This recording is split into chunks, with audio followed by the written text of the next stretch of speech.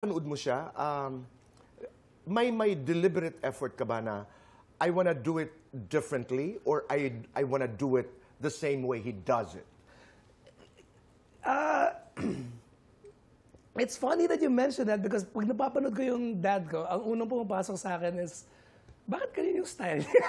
Ah, talaga? I don't even think I'm a fan. And, but for some reason, when I Really? watch him, I know why he does it that way. I know why it works. But I don't consider myself as a fan of my dad. Parang I feel like his style is very different from mine.